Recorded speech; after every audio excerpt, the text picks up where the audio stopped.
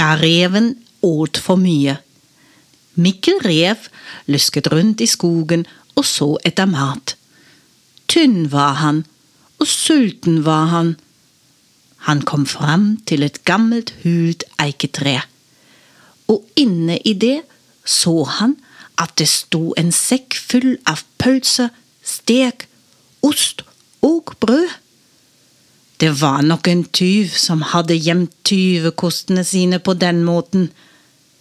Mikkel ålte seg inn gjennom den trange åpningen i det hule treet og satte godmaten til livs. Han åt til han ble så tjukk og rund som en ball.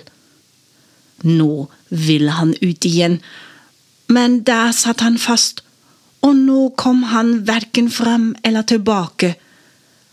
Han sukket og stønnet og visste ikke sin arme råd. Da kom en annen rev tassende og spurte hva som var i veien. Mikkel forklarte hvordan saken sto, og kameraten sa. Du sitter i saksa, vennen min. Det har jeg lagt merke til, sa Mikkel. Spørsmålet er bare hvordan jeg kommer meg ut. Kameraten svarte. Hm, det forekommer meg at det er bare en eneste løsning på problemet.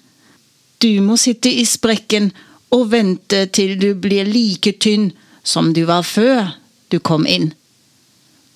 Da kan du krype ut. Jeg har lest et sted, skal jeg si deg, at tiden leger alle sår.